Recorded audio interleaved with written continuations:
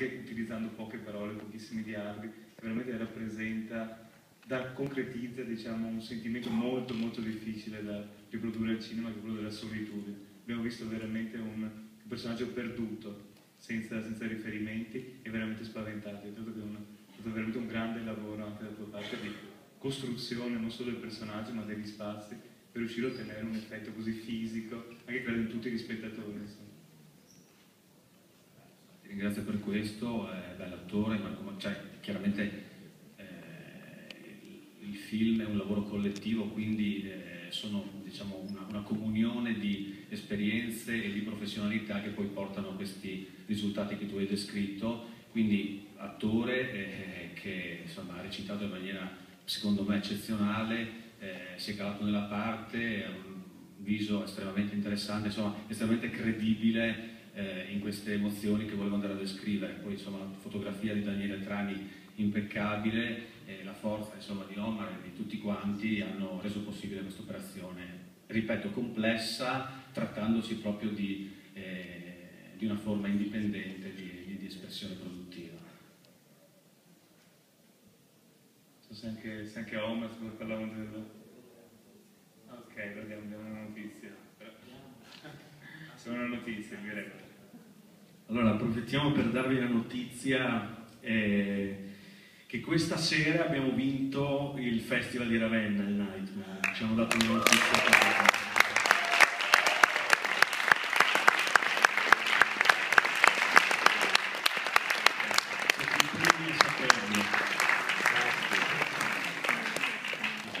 Per assicurare anche tutti gli altri posso dire che il cane sta bene. È stato salvato, prontamente salvato. Chiedo scusa anche dell'interruzione, però insomma, era un, un meritava, insomma, che adesso il cane sta bene, siamo tutti più felici. Non lo so se anche, anche Daniele, si vuole... Ecco. Ah, c'è una mano, ah, finalmente. Il camper. Parliamo del camper. Il camper era il mio camper che avevo preso proprio per andare a farmi dei giri. eh, e che torniamo a Trieste, sì, ma è un caso, però insomma ecco, era quasi una, una, una premonizione rispetto a quello che andavo raccontando. Sì, no, comunque è andato sì, è scomparso, poi effettivamente l'ho venduto per rientrare un po' nelle spese, non sto scherzando. però effettivamente sì, era un camper, un camperino personale. Ma il camper nella storia, insomma, era, no, non era fatto nessuna fine, cioè nel senso che non, non c'è più. Poi alla fine avessi, avessimo avuto la possibilità di farlo vedere precipitare da qualche parte, forse questo sarebbe stato più, più plausibile, ma insomma quando vai descrivendo questo genere di storie, il fatto che comunque non ci sia più, poi alla fine non, non mi interessava dare grosse spiegazioni a questo, mi interessava insomma, far capire che il personaggio era a piedi, non aveva più la sua sicurezza di questo guscio di lamiera che gli garantiva una sorta di, di, di, protezione che si trova poi a vivere, a calarsi pian piano nella realtà di questo eh, paese fantasma. Sì, non mi interessava molto dare una spiegazione logica al fatto che non trovi più camera, che poi di logico non c'è più nulla, poi alla fine a un certo punto, solo tre uguali ci si può permettere di tutto. È possibile che la morte aggiuntiva dei volontari abbia tolto forza simbolica alla morte del protagonista? era una sorta di proseguo, eh, morte simbolica del protagonista che comunque continua anche nella realtà, da, descritta da un punto di vista più realistico perché la fotografia era completamente diversa, quindi comunque tu vada in questo paese, comunque tu oltrepassi il guado, comunque tu raggiunga queste mura, sia dal punto di vista del, eh, della fantasia del percorso dell'attore che dal punto di vista un po' più realistico della ricerca della protezione civile, comunque la fine che fai è sempre quella e la maledizione di queste gemelle continua eh, ad essere evocata comunque tutti presenti in questo paese. Insomma.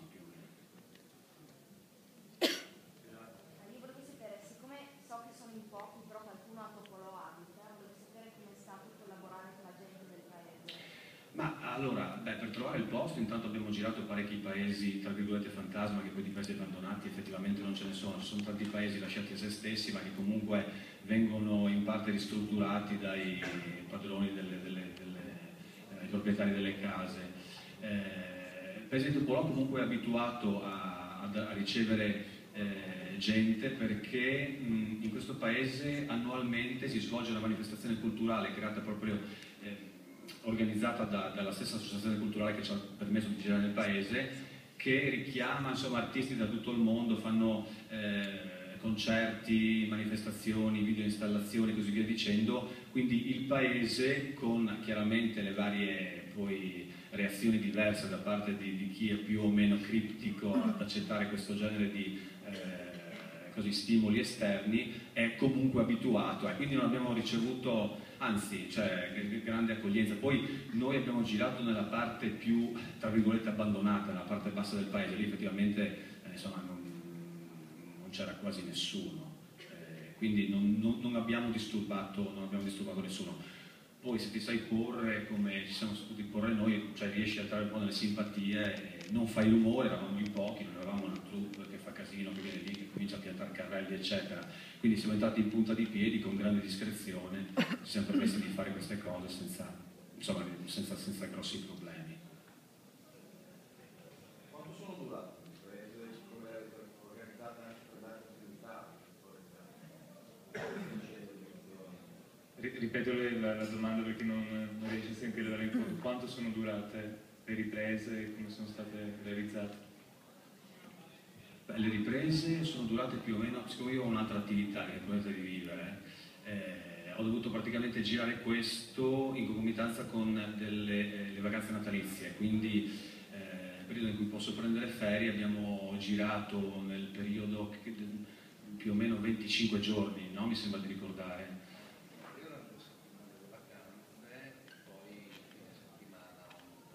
Sì, a due settimane, in due settimane, quindi no, un po' di più, forse 20 giorni. Vabbè. E, e, dopo, siccome appunto la gran parte della truppa è dovuta rientrare perché sono dovuti darci una mano anche amici eh, da Roma, eccetera, è dovuta andare via, poi abbiamo proseguito eh, nei ritagli di tempo, sì, nei fine settimana, dilatando questo lavoro fino ad aprile, mi sembra. Quindi qualche fine settimana ci si vedeva in 3-4 persone e abbiamo concluso poi è stato tutto, il discorso del montaggio, ma essendo appunto indipendenti, non avendo fiato sul collo da parte di nessuno, poi ce la siamo presa con la tranquillità eh, che questo tipo di produzione poi, eh, poi ti dà, cioè ci sono i pro e i contro in, in questo genere di, no, di, di uh, logica produttiva.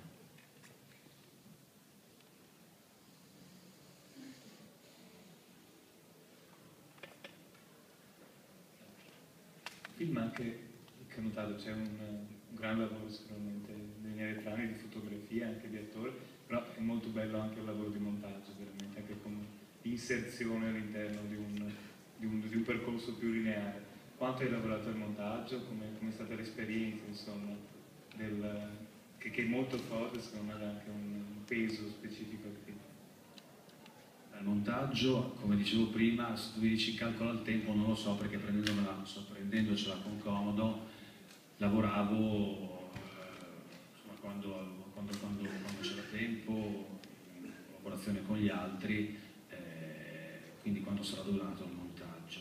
montaggio sì.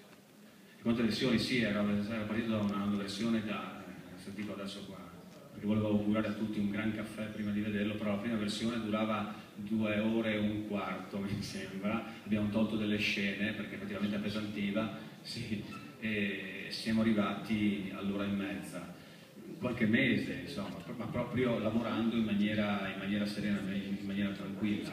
Poi qua in sala ci è venuto a trovare anche eh, Davide Piotto, che è lì che ha, che ha curato il sound design, quindi che ha contribuito a rendere insomma, eh, spaventose queste noti di temporali, questi venti, eh, questi rumori che si sentivano nelle case, c'è anche Edoardo, Voivoda che ha, che, che ha, curato gli effetti eh, speciali visivi, insomma, insomma, siamo presenti in gran parte di, di tutti quelli che hanno collaborato al film.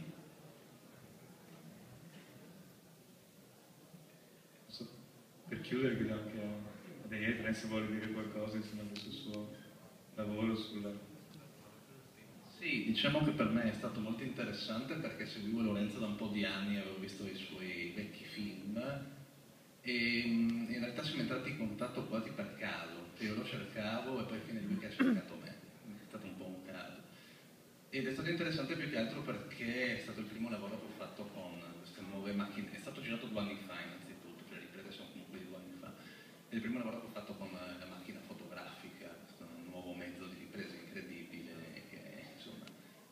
lavorandoci molto dà anche dei, dei buoni risultati secondo me. Più che altro diciamo che forse è durata molto di più la post-produzione video rispetto alle riprese, nel senso tutta la parte di color correction ha portato via forse più tempo addirittura, anche perché anche di come montaggio ci sono diverse versioni, c'erano anche diverse versioni di color, poi pian piano sono state aggiustate. E, so, poi vedendolo anche proiettato qui, uno schermo grande, comunque molto soddisfatto.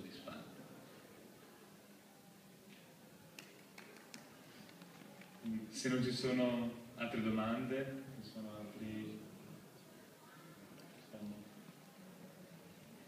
Ah, ecco. No, notavo solamente, e apprezzo l'estrema difficoltà che ha fatto per fare un film, avvalendosi alla fine di un attore, di immagini e musica, e ne ha tratto quello che abbiamo visto. Perché non è facile, voglio dire, con solo Us- usando solo... pochissimi dialoghi, esatto. un solo praticamente protagonista. La difficoltà è riuscire a riempire i vuoti con, eh, ci si augura la forza dell'immagine e con i rumori, sì, perché con i dialoghi è facile eh, riuscire appunto a tenere l'attenzione, comunque a non annoiare. E il rischio era un po' quello di, però è plausibile che quando l'attore è solo, perché lo volevo da solo nella storia, per descrivere la solitudine, non abbia al- alcuna possibilità di parlare se non all'inizio nel registratore vocale, ma proprio per il lavoro, per eh, testimoniare, per insomma, archiviare ciò che fa. Una volta che perde questo interesse è chiaro che non, non parla più con nessuno e non avevo neanche intenzione di, eh, inventarmi nessun tipo di escamotage per fare il, il classico pallone come nel film di, eh, eh, sì, di Castaway che hanno, cioè, cioè, lui parlava col pallone no, che diventava suo amico, eccetera, quindi non, non mi interessava, proprio volevo farlo anche completamente senza, se- senza dialoghi, vedere se riuscivo a far stare in piedi questa cosa solo con le immagini, con la musica e con i rumori. Come è plausibile che succeda, cioè mi piace un po' il realismo delle, delle paure, nel senso che è plausibile che uno vada nel bosco eh, perché fa un, un certo genere di, di- di mestiere, cioè mi seccava di scrivere alla fine la solita storia dei 4-5 ragazzi che si mettono in macchina, non so, e vanno a fare una gita, quindi introdurre un mestiere che comunque c'è, già si introduceva la solitudine in maniera realistica, no? C'è questo qua che va in giro col, pragmatismo che lo induce comunque ad andare avanti, a scoprire e non a fermarsi al primo rumore, poi l'abbiamo indotto ad andare fino dall'altra parte del fiume fino a che scopre il primo elemento tra virgolette paranormale, questo segno eh, di gesso sul, eh, sul- sulla lavagna che lì lo induce umanamente e anche credibile che lo induce a scappare e ad andare via. Poi dopo c'è stato il discorso che non trova il campo per farlo rimanere lì e, e basta insomma, mi è scritto questa cosa qua. Non so se Omar Se posso, questa è stata anche la grande sfida diciamo, che abbiamo avuto eh, partecipando ai vari festival in giro per il mondo, perché di base secondo me, questo insomma, ne discutiamo sempre, anche quando ci sono le interviste, il termine horror per definire il genere finisce per essere un pochino riduttivo. E quindi la grande sfida è stata quella di affrontare delle platee molto grandi, dei festival anche molto grandi, che di base si aspettano un certo tipo di film, no? un film dove si vede molto sangue, dove si vedono molte cose. Quindi questo è un film che invece porta l'attesa e porta tutti gli spettatori a desiderare il momento che Marco Marchese, no, no Marco, scusi, no, che muoia, tutti desiderano questo momento, quindi c'è questa attesa no, continua che lo trasforma in un film non propriamente horror, forse più vicino al thriller, no? psicologico, no? qualcosa del genere. Quindi affrontare un pubblico e vincere anche dei premi, quindi è una grande sfida, io ecco, sono molto fe- felice anche di questi risultati, questo secondo me era una sfida no? che affrontavamo tutti un pochino così tesi e impreparati. ecco. Quindi se anche Marco Marchese vuole, se mi dici come è stata questa esperienza, che credo sia stata totalizzante, insomma, sei... Allora, solo una domanda, come La preferisci? tua esperienza, la tua esperienza nel set. L'esperienza del set è stata assolutamente coinvolgente, mm, ci ha saldato, ci ha congelato, cioè, era molto- la situazione era molto dura. Il tutto ha favorito sicuramente un po', credo, l'aspetto attoriale, no? mi piace a loro recitare, l'ho fatto da, da sempre. no? Sì, scusa, non, non- non troppo, evidentemente. E, chiaramente un po' la situazione ha, ha- ha favorito, perché ci sono, c'erano moltissime situazioni dove l'isolamento, l'angoscia eh, era facile, diciamo, detta, insomma, in termini così.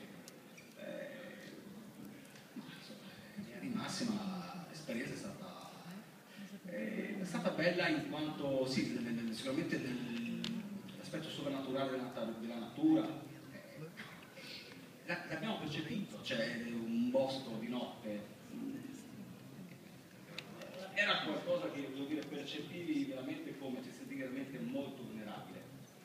Eh, quindi l'esperienza è stata, ci ha- unito, penso, come persone, come amici, come tutto, e dopo che chiaramente ha dato il via a tutta una serie di, di- di- di eventi che si sta- che stiamo vivendo, che insomma, confermano un po' quello che è il talento sicuramente di, di Lorenzo, della personalità, della Neve, della, della- della capacità. Io ho dato il mio contributo quanto sì sì sì sì chiaramente è stata è un sogno diciamo no? almeno io chiaramente tendo a vedere la vita in questo modo qua no? Eh, mi sveglio quando non c'è niente da fare lo devo fare continuo diciamo. Forse meglio che fermo. No, perché un po' è, è peccato no?